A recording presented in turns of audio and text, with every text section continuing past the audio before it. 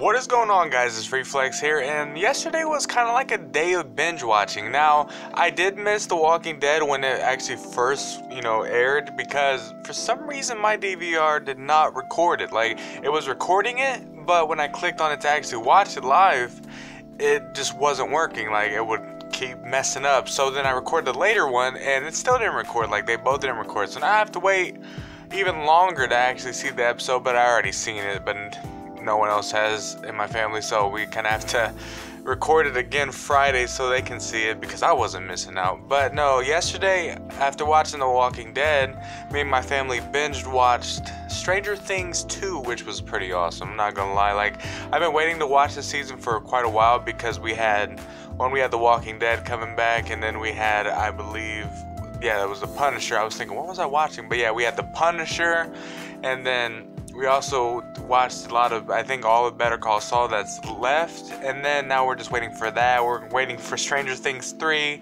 We're waiting for just a whole bunch of stuff. But it, yesterday was just all Stranger Things. We watched the whole season 2, and then we also watched the little like I think it was like Beyond Stranger Things, which was like a seven episode, like 20 minutes each type thing, which was like behind the scenes slash like this the cast talking, which was pretty interesting to watch, and I had a blast watching it. There's just times where some days you don't feel like doing anything but watching shows with your family, which always watching shows with family is always fun. I don't know why. It just feels more enjoyable, maybe because you're spending time with family, but overall, I thought it was just a good time. I had fun watching it. I pretty much enjoyed all of it. I'm not gonna say any spoilers, even though I'm sure the majority of United States or everywhere pretty much watched season two, unless you guys don't have Netflix. But I'm sure people found their ways because you can literally watch anything like either on the computer, torrenting it, or just I don't know. There's so many different ways to watch things, even when you don't have what's needed. So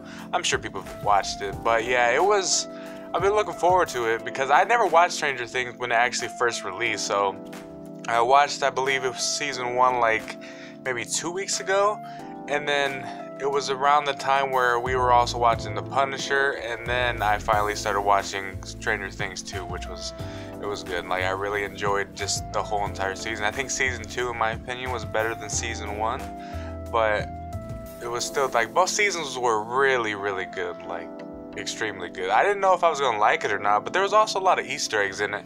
I may or may not make a video on it. Don't really know. It depends on how many videos are already out there about Easter eggs. Because if there's too many, then I just don't want to make a pointless video because then it'll be like I'm copying. But if there's not too many, then I guess expect that in the future. But yeah, it's been it's been fun. There's always days where you just feel like binge watching something. It don't even matter what it is. It could be reruns of an episode. Like what I already watched Breaking Bad at one point, but someone didn't in my family, so then we decided to binge watch pretty much the whole entire like a two week span. We watched every single season, every single episode, and then we went to Better Call Saul and watched every single episode there. So that was a cool binge week. I I could say honestly, like it was that was probably the coolest time. Now next, I kind of want to binge watch Game of Thrones, and pretty much already watched everything, but my family hasn't. So that'll probably be the next binge watching thing that I'll probably do. I'm not entirely sure though. But as you guys know, when this video goes up, the Overwatch Christmas starts, and I'm curious to see if they release any new skins, whether it be a Tracer skin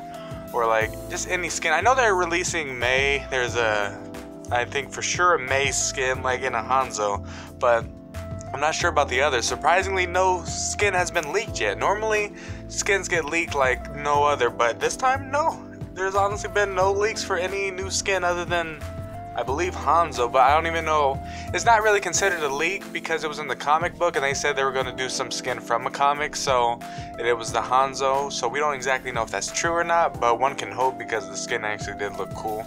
But so far, I'm just looking forward to that. I'll be playing now. I'm making this video a day early, so I really can't say because I would probably make like today's video more than likely would have been about the skins and all that and just the whole theme. But since I'm making it a day early, it wouldn't make sense to actually make a video like that. But still, I'm looking forward to doing that. Even though my luck with getting legendary skins are so bad because I only get legendary skins of the characters I don't use. I still have yet to get a good Tracer skin that's not one that you just get just by buying it. Like, it's ridiculous. I'm still waiting for an actual good skin. Like, I really want the graffiti skin, but Can't get it. My luck is just too terrible, but hopefully just wish me luck that I get some new skin, whether it's just a jingle skin or if they even like made a new one, which I hope they do, but if not, oh well, I guess I just gotta deal with the Mach T and then also the just sporty tracer I believe it is but yeah hope you guys enjoyed today's video and let me know down in the comment section below like what is a show that you guys been watched this year like did you guys binge watch any shows this year or have you